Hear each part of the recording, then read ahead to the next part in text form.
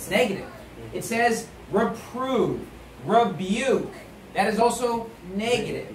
Then it says exhort. So we see negative, negative, positive. You see, preaching is meant to be two thirds negative and one thirds positive. But you know, that's honestly not really what you hear from most preachers. Most mm. preachers love guys, people like Joel Osteen and all these popular preachers. They just say positive, your best life now. And I've heard Joel Osteen say this on Larry King, where he says, "I don't really like to use the word sin. You know, kasalanan is such a such an offensive term. I don't like to talk about sin. I don't like to judge people. It's like you're supposed to be a man of God, and you can't even use the word sin. It's like, are you kidding me? Because see, what I see in my Bible is it's two thirds negative and one thirds positive. Now turn to Isaiah 58. Isaiah 58. And this theme is throughout the Bible because the verse we just looked at was in the New Testament. Don't they always tell you, well, you know, the Old Testament God was so mean and evil, but you know, Jesus was just all love, love, love. But I don't know about you, but that's a New Testament verse we just looked at. Right. That's not the Old Testament, that's the New Testament. But this has always been the theme throughout the Bible.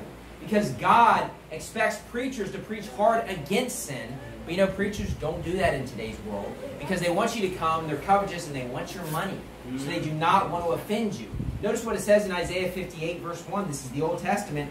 Cry aloud, spare not. Lift up thy voice like a trumpet, and show my people their transgression, and the house of Jacob their sins. What does it say? Cry aloud. What does that mean? It means you preach with authority. Yep. It means you preach hard. It means you're not afraid to preach the truth, but you cry aloud against the sin. You say, why? Because when you walk down the street in the Philippines, you see a bunch of men dressed as women out there. Yeah. They're wearing a dress, and you know, if you're a man of God, you need to preach against that. Right. I don't know about you, but I want to live in a country that cleans itself up. I want to get the sin out of the country. And you say, how do you do that? You do that in the pulpits here in the Philippines. Right. That is what's going to fix the problem. It's not going to be the Catholic Church. It's not going to be these cults out there. No, it's going to be Baptist churches that fix the problem. Amen. And the way we do it is not just through soul winning, but also preaching hard against sin in the pulpits. That is a requirement. Notice cry aloud. Then it says spare not. What does spare not mean? It means you don't hold anything back. Yep. You preach all of it. You see, every single word in this Bible is pure. Doesn't the Bible say every word of God is pure? Yep. Every single word. You mean the parts in Leviticus chapter 20? Mm-hmm. Yeah, those words are pure. Amen. The parts where it talks about the abominations and the sin and the, the various reasons for the death penalty in the Bible, yeah, those words are pure words because every word of God is pure. Every single one. And we will not be afraid to cry against the sin, and we will not spare. It says, spare not.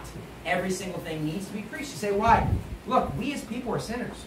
We need the hard preaching to fix our lives. And it says, spare not. Then it says, lift up thy voice like a trumpet. That goes along with crying aloud. And then it says, and show my people their transgression and the house of Jacob their sins. Notice how it keys in on their specific sins. And look, you know, when you're at a church and you're preaching, you have to preach about the issues at your church and in your country and the area you live. Yep. It needs to be specific. Let me give you an example of something that really, in the past, has not been much of an issue here, but it is in America. In America, half of people are divorced. In the Philippines, nobody is divorced. But I'll tell you what, it's about to become legal. You say, why? Because pastors aren't preaching hard against that sin, Yeah. and now it's about to become legal in our courts. And it's going to be an issue in this country as well. And so you have to understand, you preach against the issues of your day and where you live. That's why he says, Show my people their transgression, the house of Jacob their sins, the specific issues that they're dealing with. Go to the New Testament, Matthew 5, Matthew chapter 5.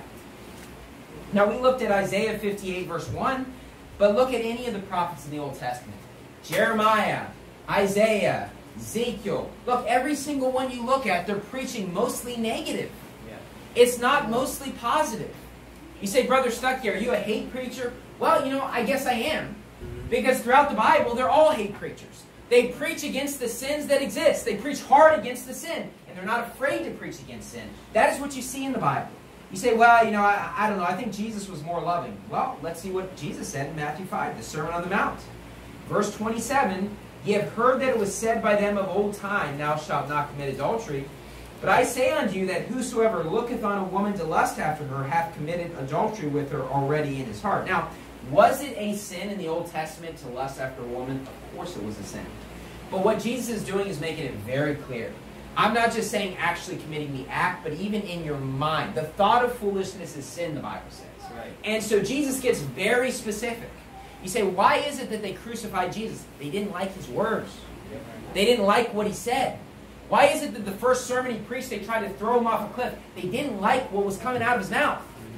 And what you have to understand is that if Jesus Christ was around today, in this country, most people would hate his words. Yeah. They wouldn't like his words. You say, how do you know that? Because they don't like my words.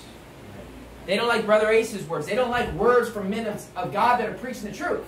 And look, if they don't like our words, they wouldn't like the words of Jesus Christ. Why? Because we didn't make these up ourselves. It's right here. Yeah. And so if they get mad at him, they're going to get mad at us. And so you got to wonder about the preacher that everybody loves. Look, if everybody loves somebody, maybe they're not such a great guy. Yeah. Because if Jesus was hated, we're going to be hated as well if we preach the exact same thing. That's what the Bible teaches. And in Matthew 5, we see that Jesus is preaching very negative. Did you know Jesus spoke a lot more about hell than heaven? Hmm. Well, it makes sense because he doesn't want people to go to hell. And if you don't want people to go to hell, you warn them about that place. And so Jesus, you know what? He was mainly preaching negative. Now turn to Proverbs 23. Proverbs 23. And I'll tell you what, this is not just something for preachers behind the pulpit, but this concept should be taken outside of the pulpit when you raise your kids. You know, I'm very proud that my son just got a spanking in there. Why? Because if he's being rebellious, you know what? You're supposed to spank him. Right. That's what the Bible teaches. And we have to teach our kids at a young age so they don't grow up and be rebellious. And see, it says here in Proverbs 23, verse 13, Withhold not correction from the child, for if thou beatest him with the rod, he shall not die. Did you know that when you spank your child, they don't die? I mean, they cry for two minutes, and then they're, they forget about it, and then they hug you. Isn't that the way it works? You know, when you first become a parent, because we have one child, you know, a second on the way. But when we first, I first spanked my son, especially the first time, I was like, I don't even know what to do. And you know, but then right afterwards, they hug you and they just want to make up. You know, kids are obviously very emotional. Look, kids do not die when you spank them, but it teaches them that you know what there is judgment for doing wrong. And if they're being taught by their fathers and mothers that you know what that their father's never going to judge them for doing wrong, they're going to believe one day that their heavenly father's not going to judge them either. And they're not going to realize the importance of keeping the rules of God. And so notice what it says in verse 14 Thou shalt beat him with the rod and shalt deliver his soul from hell. You deliver your child from hell because when they realize that there's a payment for their sins and breaking rules, it's going to make them realize, wow, you know what? I've got a loving God up there, but it's also the same God that sends people to hell. Yes, God is love, but at the same time, the Bible says God's a jealous God. At the same time, God's a God that does pour out judgment upon people. And when people go to hell, the Bible says the wrath of God abideth on them forever. Yep. Forever. Look, the people he throws in hell, guess what? He doesn't love them anymore. Mm-hmm. They're burning in hell forever. He obviously decided they deserve to go there. Yep. And so, look, yes, we have a loving God, but we also have a God that preaches hard against us. And, you know, he expects us as preachers to preach hard. And so go back to 2 Timothy chapter 4. 2 Timothy 4. And so preaching is two-thirds negative. Reprove, rebuke, exhort. Now, there's a problem if it's 100% negative. But there's also a problem if it's 100% positive. Yes, 100% negative is a problem, and I'm sure, I mean, it's, it's tough when you're preaching sermons to get the proper balance on stuff. Because you want to preach the sermons against sin and against false doctrine. At the same time, you still need to preach the sermons that build the people up. Because we have so many things we struggle with. It can't just all be about false prophets, because there's a million here in the Philippines. Yeah. There are so many false prophets and false churches here. And so you need the balance, and it's a tough thing to get that balance. But you know, people like to really rip on people for always being negative. But what about always being positive? Because that's a pretty big problem as well. And in fact, being all negative is closer to the two thirds negative than being all positive. But yet, most preachers are all positive. In fact, look at the churches around town. Look at Victory. Look at CCF. And guess what? Positive, positive, positive. You say, why? Because people like to hear good things about them. Yep. People don't like being told that they're wrong and they need to make a change. That is why churches like Victory are always going to be a lot bigger than a church like this. Right. This church will never be as big as Victory. This church will never be as big as CCF. Neither will ours. It will never be that big. You say, why? Because most people like to be lied to. That's what you see throughout the Bible. Most people just want to be lied to and hear positive things. They want to come to church and get a pat on the back saying, Man, you're such a good person. You're doing such a great job, man. You're just knocking it out of the park. No, you haven't read your Bible this week. No, you didn't pray this week. No, you've never led a soul to the Lord in your life, but man, you're such a good person. People love to hear that. Why? Because they don't have to do any work and they feel very spiritual, even though they're not spiritual. But you know, there's a remnant of people, and people like us in this room, we want to hear the truth. Right. We want to know whether what we're doing is right or whether or not it's wrong. And look, when it comes to the truth, it cannot always be positive because you know we have a lot of problems in our lives, and me included. I mess up every single day, and I need the hard preaching as well. Why? I'm not perfect. Nobody's perfect, and preaching should be two thirds negative, one thirds positive. 2 Timothy 4, verse 2. But I want you to notice something here. And it says in 2 Timothy 4, verse 2 Preach the word, be instant, in season, out of season, reprove, rebuke, exhort with all long suffering and doctrine. And I want you to realize that when you read this verse, you're seeing that the hard preaching is not to just hurt people and destroy their lives. You're actually trying to encourage those people to do what's right. You're trying to help them fix the problem when you preach hard against sin. You know, quite honestly, it's not fun to preach against sins that are going on in the church. Mm-hmm. When there's things that you notice are a problem, those are the last things you want to preach about.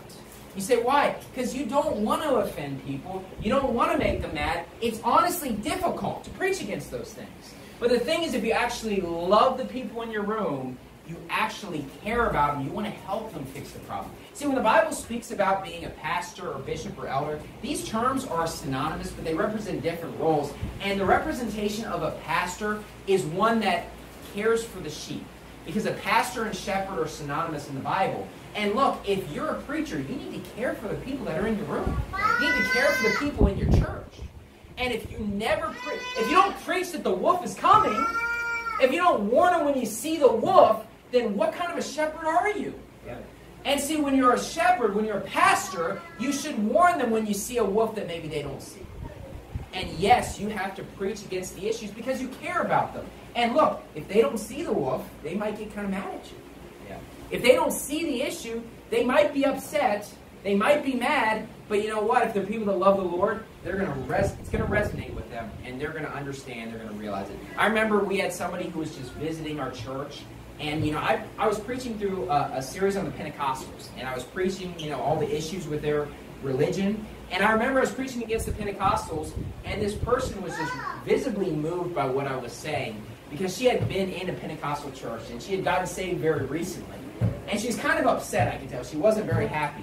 But you know, after the service, you know, she told the people that she was, you know, family members with, she's like, everything he said was right.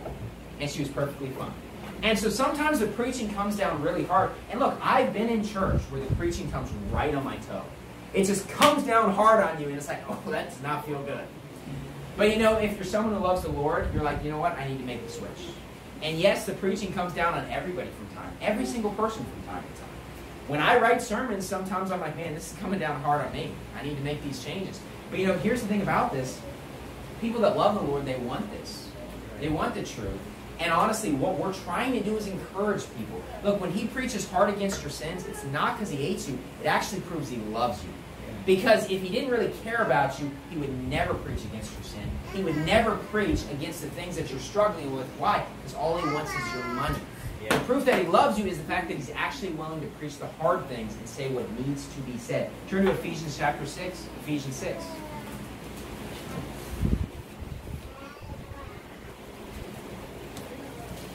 And this is what people really just don't get because they look at preachers that preach hard against sin and they think they're very hateful people and very mean people. And it, they honestly seem to think that when they step outside of the pulpit, they just see somebody smoking a cigarette on the side of the street and they just rip it from them and yell at them. That's not what they do. Actually, they actually care about those people and they realize, you know, I preach behind the pulpit, But you know, first off, you're just trying to win those people to the Lord if it's random people. But here's the thing about this the person who's the positive only preacher, they won't even say anything to sin though, because they do not care about the people that they're preaching to. And so, honestly, the people that actually are loving, people that actually are caring, are the same ones that are going to preach against the sodomites and the pedophiles. Right. You say, why? Because they actually care about the children. Right. And they're going to warn people because, you know what? They want to keep the children safe. Yep. That's the reality. And they might seem very hateful, but in reality, they're actually very loving. That's the truth.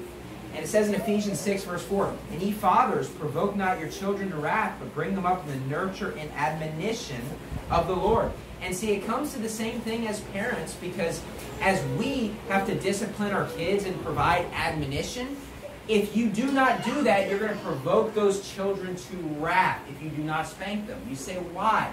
Here's the thing if you do not spank and discipline your kids, if you do not do that, what is going to happen is those kids are going to grow up and be rebellious. And guess what? They'll get arrested because they never were taught what was right and what was wrong. And here's the thing it's the same thing with the church. If you not teach your members what's right, what's wrong, you will provoke them to wrath and they'll leave the church. You say, why? Because what will end up happening at the end of the day is those people in church will, will wonder why they keep struggling with the same sins. They're going to wonder why they can't seem to be motivated to read the Bible. They're going to wonder why they keep making the same mistakes. And honestly, the problem was right behind the pulpit because the pastor was not willing to preach the truth. Right. And you know what? Here's the thing most pastors don't care. Because honestly, you know, if you leave the church, it's fine because, you know, at a church like Victory, they got plenty of members. They don't care when you fall on rough times and you leave the church. Why? Because there's a thousand members in that church.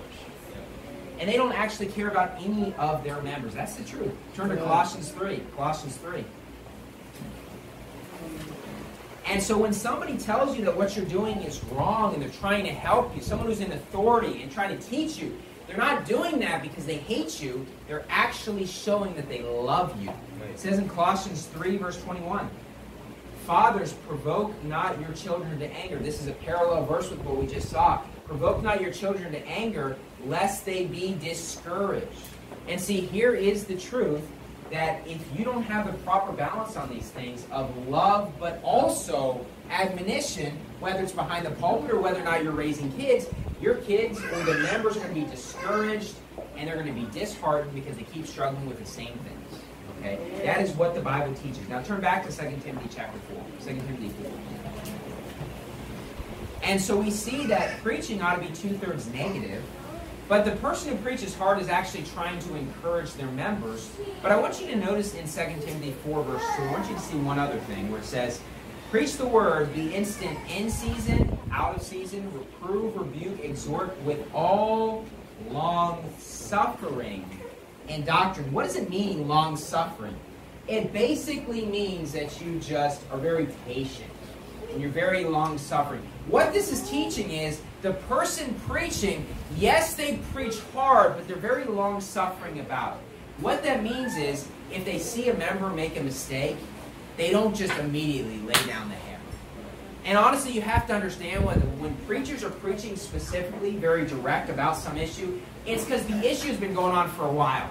It's not like it's just some small issue and it's like, man, I'm preaching a whole sermon. You, you saw someone at church, you know, they were they were listening to rock music, you caught them. So then the next sermon, you just hammer against rock music. That's not the way it works with preachers. You know, honestly, you know, members have issues and they're not perfect. And so you're going to see mistakes from time to time. But when the preacher actually preaches against it, they're actually being long suffering about it. And honestly, that is the nature of God as well. Because God, He will lay down the hammer on stuff, but He's very long suffering before He does that. I find it interesting if you compare the true God that we believe in and then the false God of the Hindus, you know, Shiva, which is a, a, a, a manifestation of God, they say that Shiva is very quick to anger. That Shiva gets mad like this, immediately gets mad, but then basically just forgives immediately. That's the exact opposite of God. See, God is actually very long suffering, but when He lays down the hammer, He lays it down. Yeah. It's the exact opposite of the. Yeah, we believe in the same God. It's the exact opposite of the Hindu God. Now turn to 2 Timothy chapter 3. 2 Timothy 3. And I want you to realize that when preaching comes, Look, the people that preach, they're very long suffering about it. They don't just immediately lay down the hammer. We're going to see that in the life of Paul the Apostle. That was a character trait that he had. 2 Timothy 3, verse 10. But thou hast fully known my doctrine, manner of life, purpose, faith, long suffering. This is a characteristic of Paul the Apostle. He was very long suffering when there were issues that had to be dealt with. He was long suffering if somebody made him mad. And preachers that preach hard against sin, they actually are very patient. They actually are very long suffering, but sometimes issues need to be dealt with. Now turn to 2 Corinthians 7, and we'll see the famous issue that Paul deals with in 2 Corinthians chapter 7. If you remember in the book of 1 Corinthians, the issue was that a man was with his father's wife, intimate. Now, it doesn't really get much worse in a church than that sin. I can't even really think of anything worse except, I guess, when you have open sodomites that are, are pastors and things like that in some of the Protestant churches that's out there, or every Catholic church, pretty much. Outside of that, though, I mean, that's about the worst sin you can really think of in church. And so this man has his father's wife, and the thing that's a problem is you expect that from heathen churches. You don't expect that from a church where there's people that are saved. Right. A sin that's that grievous. That's what's going on in the book of, of 1 Corinthians. But in 2 Corinthians chapter 7, notice what it says in verse 8. For though I made you sorry with a letter, I do not repent. Though I did repent, for I perceive that the same epistle hath made you sorry, though it were but for a season. And so Paul says, I ripped you apart in the book of 1 Corinthians. And he said, I am not sorry for it. But notice what he said. I do not repent, though I did repent. You see, Paul actually felt bad about having to rip them apart. It's not like he took pleasure in the fact, man, I get to rip someone apart today. I am so glad that they committed sin so I can just lay down the hammer. No, actually, he says, I did repent. I did feel bad. I didn't really want to rip them apart, but it came, became an issue where I actually did have to do that. But here's the thing about this. For I perceive that the same epistle hath made you sorry, though it were but for a season. What ha actually happened is that that hard preaching in the book of 1 Corinthians, it solved the problem. That's why he's saying, I don't repent. I'm not sorry. I, I did feel bad about it. I knew I had to rip you apart because of the sin, but I don't feel bad now. Why? It actually made a change in them. Yeah. They actually got, boy, I, I, guess hard preaching actually works. Right. I mean, they say, well, hard preaching doesn't work. You need to be more loving. Try that technique. Every time you know your child cries, just give them sorbetes. Just give them some Pangi Magas and see what happens when they're 7, 8, 9, 10 years old. And they're going to be a really bad child. Right. That's what's going to take place. Sometimes you got to just lay down the hammer. And that's what he does in the book of 1 Corinthians. Now, notice what it says in verse number 9. Now I rejoice not that ye are made sorry, but that ye sorrow to repentance, for ye are made sorry after a godly manner, that ye might receive damage by us in nothing. Now, I want to explain here verses 9 and 10, because these are very misunderstood. And people that believe you got to repent of your sins to be saved, this is one of the main passages they're going to turn to. Okay? Now, let me ask you a question. The church at Corinth, is this a Catholic church?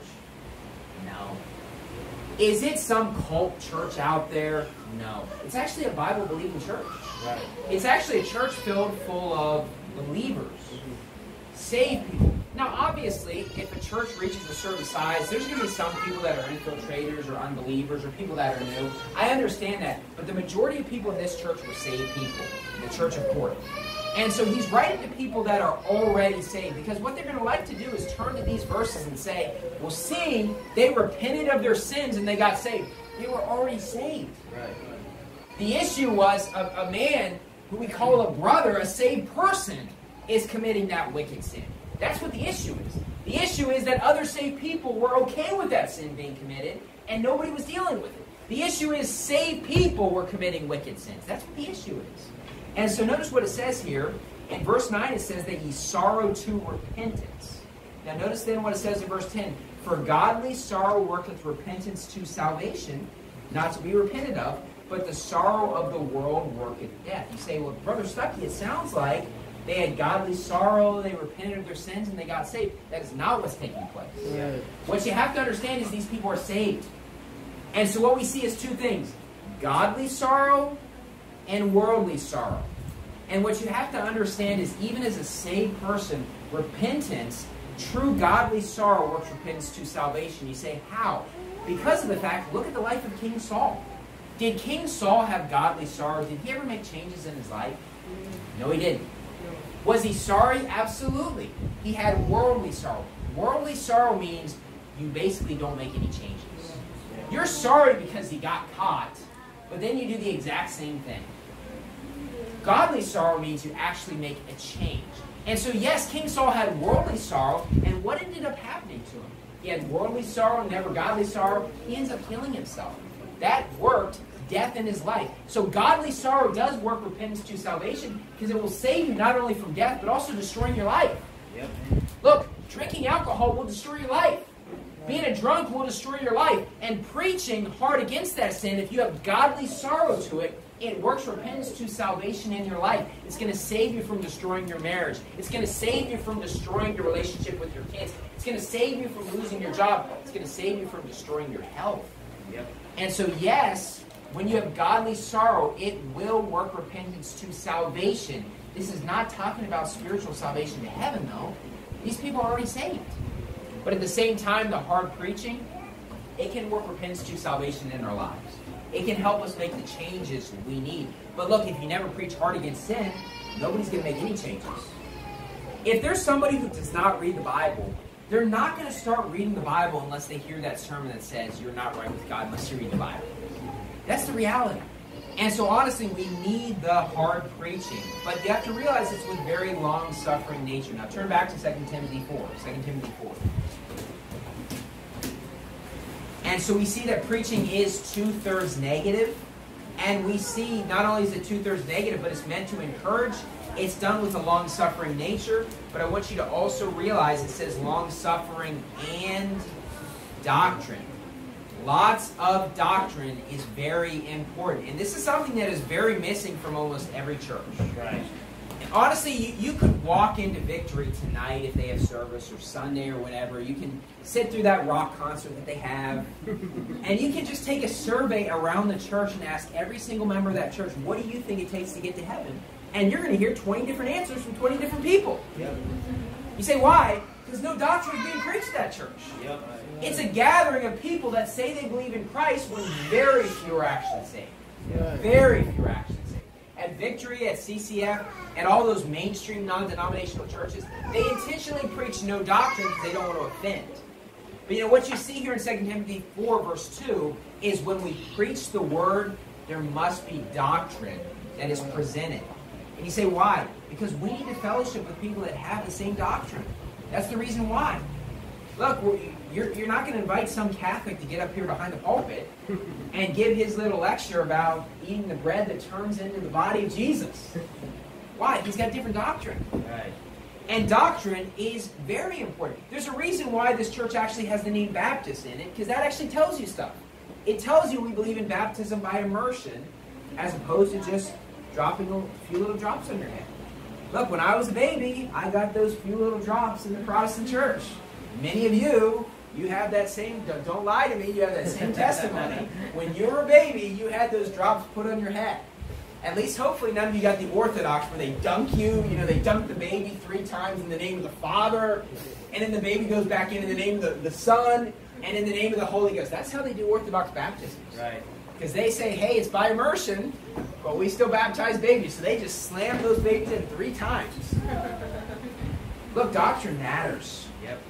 And look, you know, I understand that all of these, these churches here in the Philippines say, hey, we believe in Christ. That is a very generic term that means a million things. What do you actually believe? Now turn to 2 John 1. 2 John 1. And look, you know what? Sometimes people will call you a Protestant. Look, I'm not a Protestant. I'm not close to being a Protestant because saying you're a Protestant means you believe the Catholic Church was once right and you came out of the Catholic I didn't come out of the Catholic Church. I didn't come out of the mother of harlots church in the book of Revelation. Now, I grew up Protestant, but then I got saved. Then I heard the gospel and actually believed on the Lord Jesus Christ. And so, look, you know, we are Baptist around here. Why? Because we believe in eternal security. It's not just baptism by immersion, but we believe once saved, always saved. We believe the word eternal means eternal. We mean, believe everlasting means everlasting.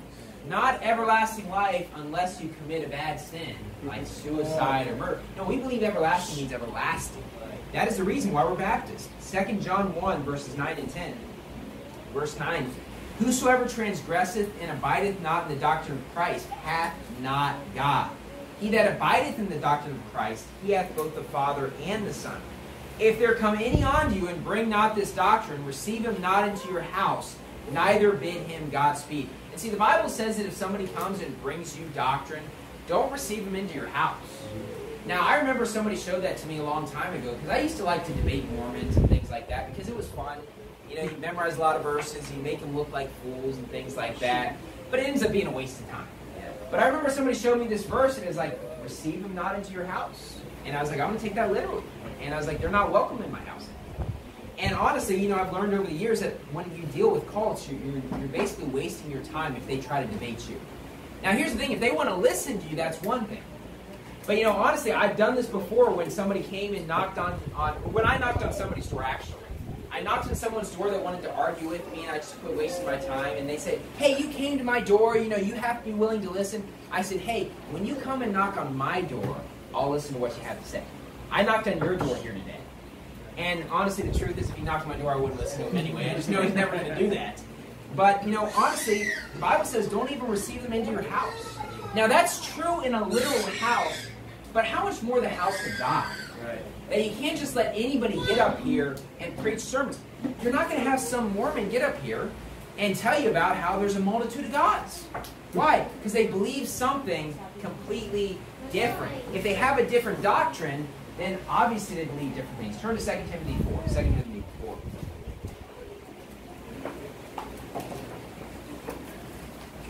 See, you have to understand that our doctrine is the reason why we can fellowship. Right. Now, I'm sure in this room, many of us, including myself, we have family members that are not believers. They do not believe on the Lord Jesus Christ. Whether it's Catholicism or some other religion, they're trusting in their works to get to heaven. Now, do you love them? Yes, you do. But at the same time, how close can you really be when they have completely different beliefs? Right. I mean, honestly, what can you really talk about? We just don't believe the same things. And, you know, we, we think of family members, but also all the other people that say they're Christians out there. How can we really fellowship with them if they believe different things? I mean, we can't because we're fighting different battles. We're fighting a battle of soul winning. That's a big battle we're fighting. And when we fight the soul winning battle, we're showing people that you do not have to repent of your sins. But if somebody believes the exact opposite, it's like we're fighting a different battle.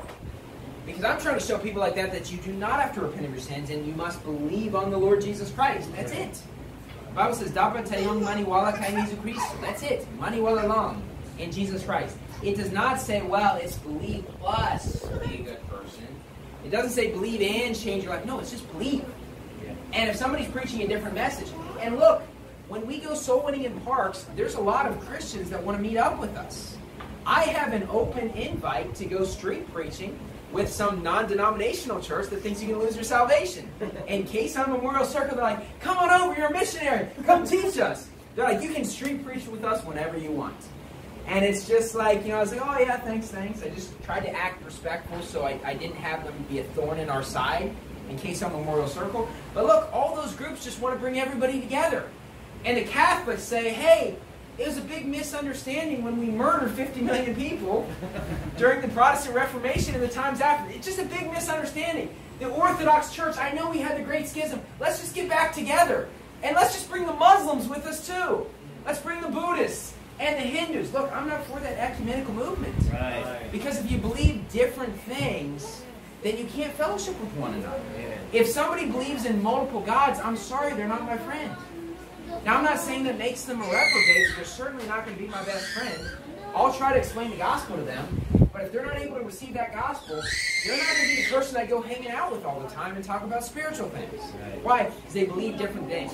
And doctrine is extremely important. Now, one thing that takes place is there's so few of us that believe the same doctrine that it makes you almost want to be friends with people that are non-Catholic.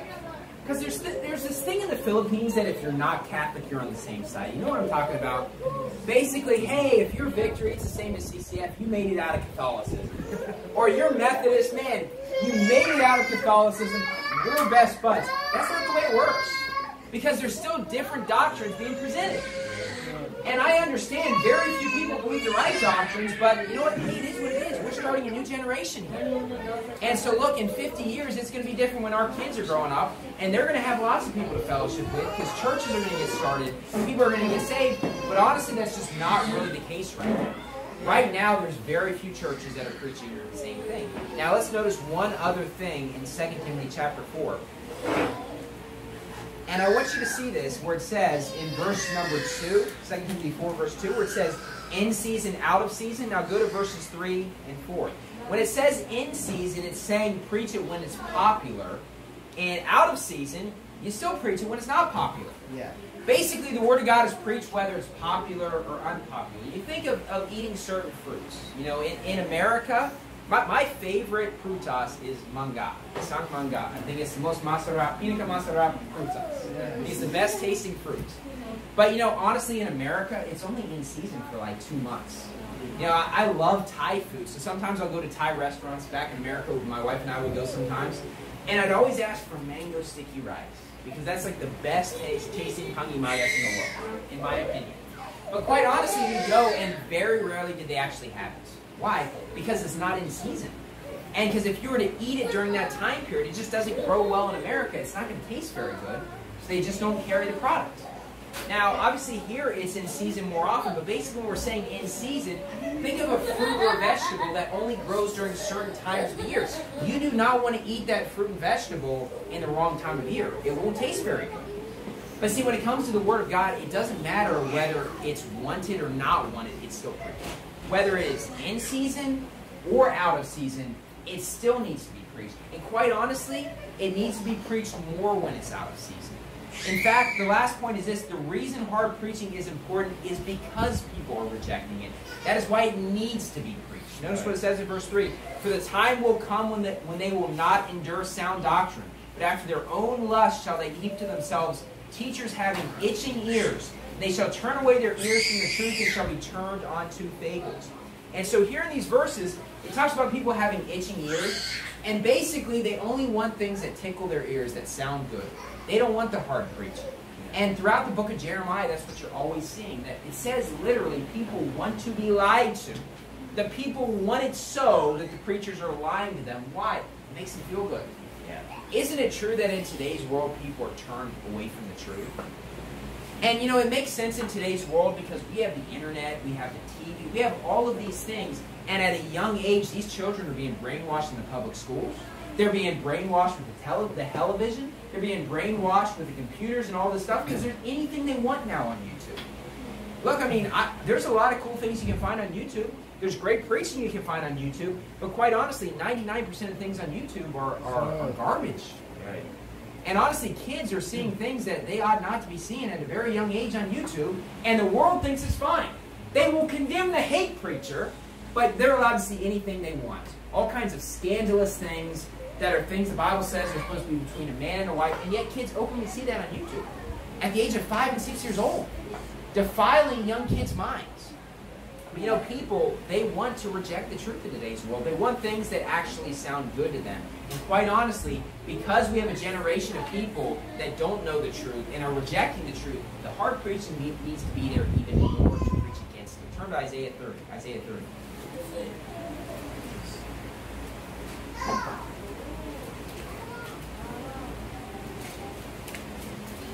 Now look, if, if, if you walk down the street here in the Philippines and you know, every lady just looked very conservatively dressed with a, a, long dress, and every man looked like a man. All the men had short hair, and all the ladies had long hair. They looked very godly. They're all carrying Bibles. Then guess what? The preaching would be a lot more loving. You say, why? There wouldn't be so many things to preach against. Yeah. But that's not what you see when you walk down the street. Look, I remember when I, I really became an independent fundamental Baptist about 15 years ago, and I started listening to preaching, and you'd hear preachers from the past really preach hard against going to the beach. That was like a big issue. Because they said people are dressed wrong at the beach. They're dressed in mini, they're dressed in bathing suits and all the stuff that's inappropriate. But in today's world, they're dressed like that on the street here. And it's just like you can't go anywhere and avoid it. See, there was a day when there was like a certain place where people would dress basically where they're naked according to the Bible. But now it's everywhere. And it's like, you know, honestly, you can't just put yourself in a bubble. You got to go to Robinson's to get your groceries or the market. And guess what? You're going to see people dressed pretty scandalously. That is the world we live in. But, you know, that's why we need preachers to preach hard against it. And notice what it says in Isaiah 30, verse 8. Now go, write it before them in a table, and note it in a book, that it may be for the time to come forever and ever. That this is a rebellious people, lying children, children that will not hear the law of the Lord. And see, God is angry because there's people that just do not want to hear the law of the Lord. They don't want the commandments of God. They don't want to know what the Bible says. Notice what it says in verse 10 which say to the seers, See not, and to the prophets, prophesy not unto us right things.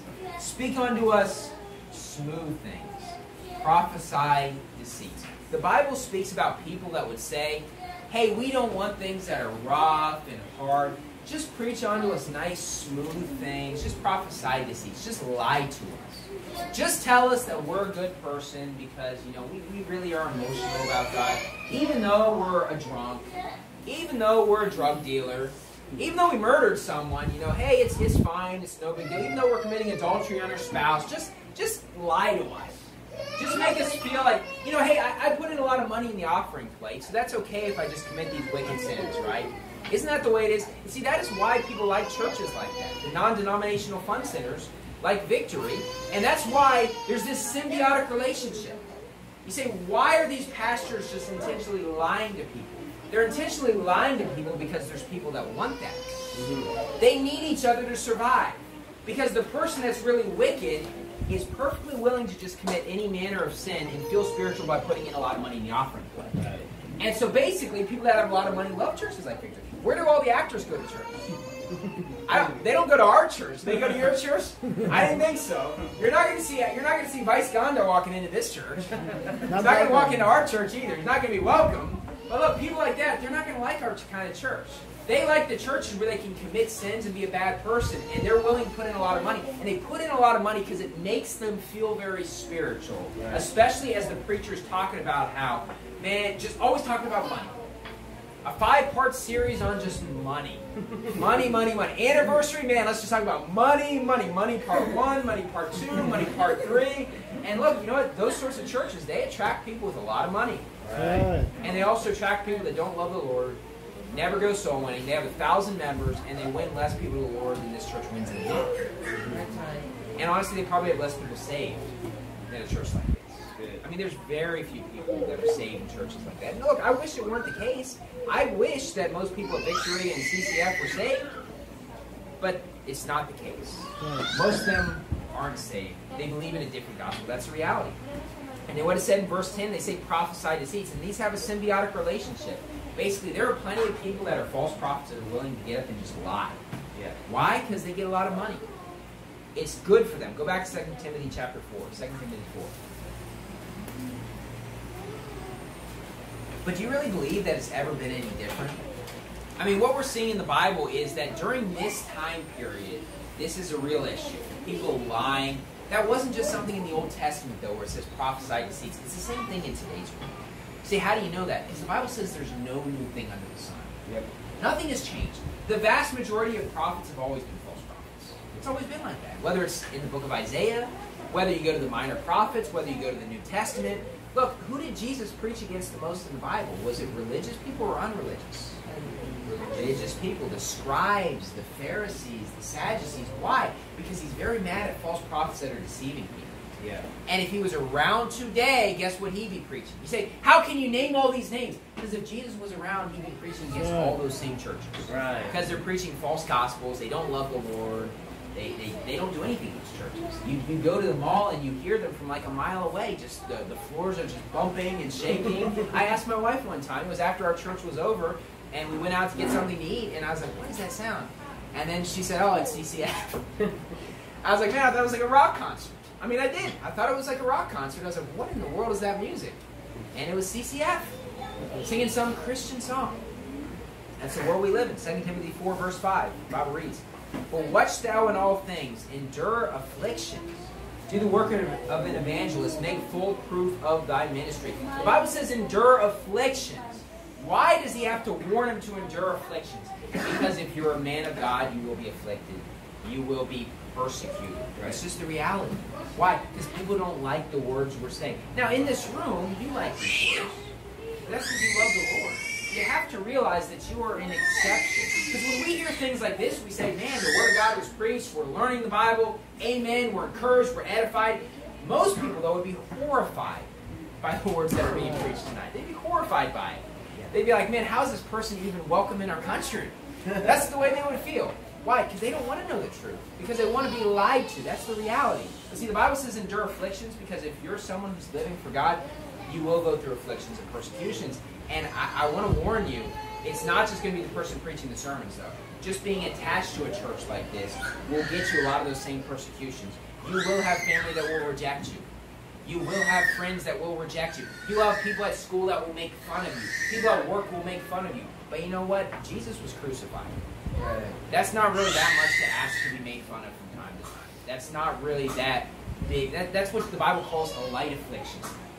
Look, they the Catholic Church just murdered people during the Dark Ages. We're not getting murdered here in the Philippines. We're just getting made fun of. It's not really that big of a deal. It says endure afflictions. Do the work of an evangelist. One of the big things when it comes to being a pastor, preacher, evangelist is when you're doing the work of soul winning and getting people saved. But honestly, the direct context is more about preaching the word than it is going soul winning in these verses. And so, yes, the soul winning is vital in every church. That is a, a, a real church needs to be soul winning. But honestly, every church needs to be doing more than just soul winning. They need to be preaching the word with authority and not holding back. That is what the Bible teaches. And so let me say this, that you know what? You should be happy that you have a church here. That maybe not every sermon makes you feel really great and maybe you feel guilty all the time, but you have a man of God that's actually preaching the truth to you. He's actually doing what very few preachers do, and that is he's preaching the word. Let's close in a word of prayer. Dear Heavenly Father, thank you for allowing us to be here in your house this evening, and and uh, ask you to help us to apply these words to our lives, God. I ask you to uh, help me as well, and I ask you to bless this church and help them their anniversary weekend. Help them with all the persecution they're going through, God, and ask you to um, you know, guide them in the right way, God. We just pray these things in Jesus' name. Amen. Amen. Amen.